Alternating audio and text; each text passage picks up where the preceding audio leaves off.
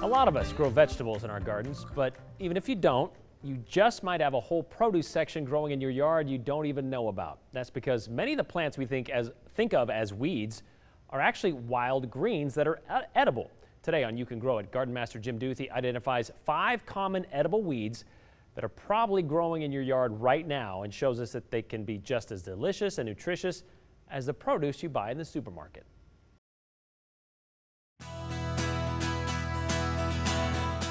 Most of us spend a lot of time and money trying to get rid of weeds that pop up in our lawns and gardens. And while many of them can be annoying and invasive, some of them are actually edible, not just for survival, but as delicious, nutritious greens for our dinner table.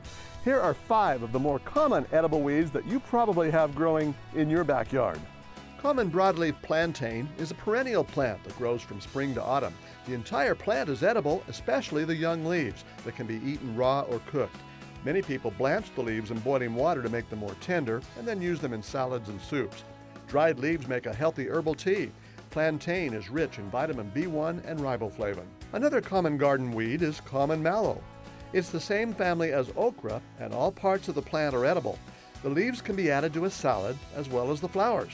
When cooked, the leaves secrete a thick liquid similar to okra that can be used to thicken soups and stews and even beaten into a meringue like substitute for egg whites. The flavor of the leaves is quite mild. Dried mallow leaves can be used for tea. You can easily find purslane growing along the edge of the garden or the flower bed and even along the sidewalk or driveway. Purslane leaves are plump and succulent and the plant can be eaten as a cooked vegetable or in soups and stews or raw in salads. The leaves are high in omega-3 fatty acids as well as many vitamins and minerals that strengthen the immune system. All parts of the plant are edible, including the stems and flower buds. Oxalis or wood sorrel sprouts up in lawns and flower beds and resembles clover or shamrocks. Sometimes the leaves take on a bronze tint. Oxalis literally means sour, since it contains oxalic acid, giving it a mild sour taste similar to lemons. In fact, while the leaves are edible raw, they can be chopped into water with sugar to make a lemonade-like drink. The plant is high in vitamin C. It's an incredible thirst quencher and is refreshing to eat, and dried leaves can be sprinkled on food as a seasoning. Finally, dandelions grow in almost every lawn and garden, and they're more nutritious than many of the fruits and vegetables we buy in the grocery store. The entire plant is edible, including the leaves, the roots, and the flowers.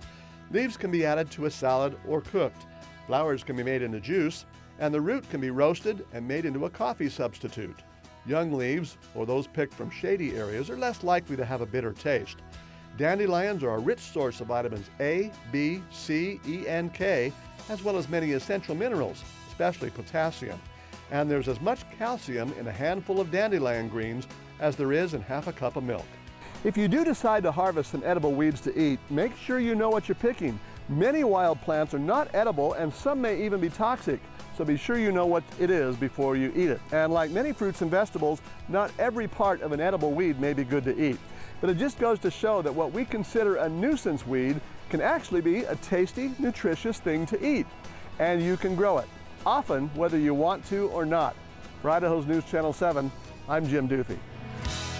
All right, well, before you start eating those weeds right out of your garden or your backyard, be sure to only pick from areas that have not been treated with pesticides or herbicides and thoroughly wash those plants, any of the plant that you will be eating raw. By the way, this might be a fun way to try if you've got some dandelions in your backyard. Jim has included a recipe for a tasty dandelion greens salad.